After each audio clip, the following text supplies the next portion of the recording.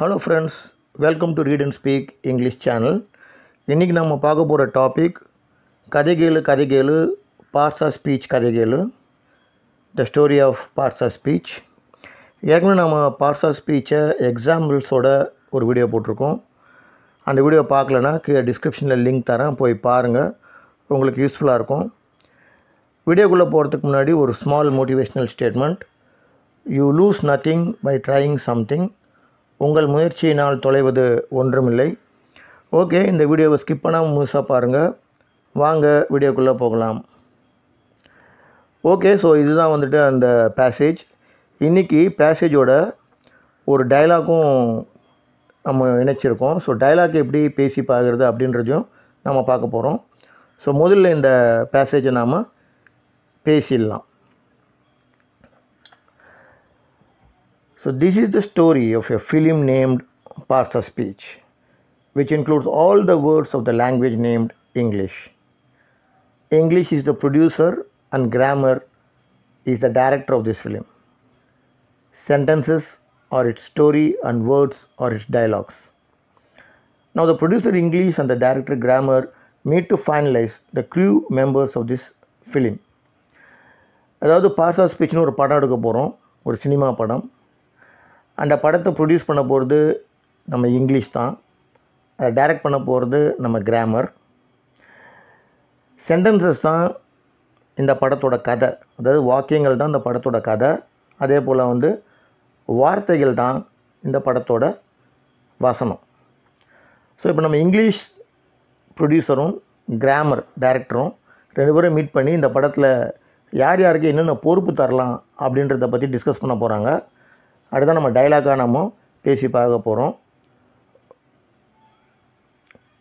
Okay hi grammar how are you doing yeah I am fine and you not bad so are you ready with the crew members for our film named parts of speech yeah yes absolutely shall we start sure sure to start with who is our hero Undoubtedly noun will be our hero. Why so? As he is the reason for a sentence. When he appears, the sentence revolves around him. Okay. Now then, who will be our heroine?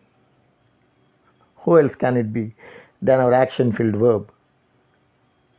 The heroine verb is the reason for all the actions of our hero noun. Without her, our noun has no action to do mostly. Okay, understood. Okay. Um, who is this pronoun? Well, he is the dupe to noun, he is assistant to noun. In noun's absence, he is going to perform noun's task. Okay, sounds good.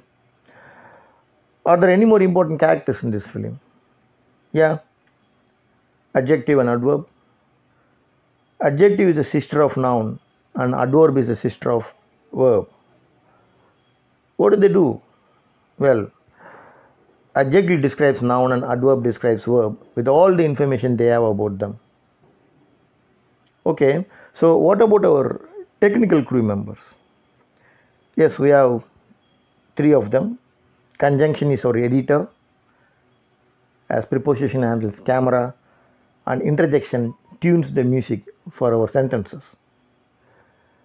Okay, can you elaborate on it, please? Yeah.